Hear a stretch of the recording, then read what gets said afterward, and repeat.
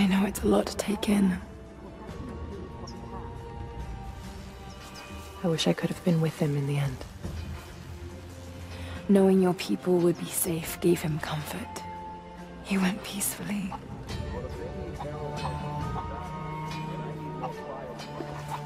Thank you, Lara. Our oaths have been fulfilled. What will you do now?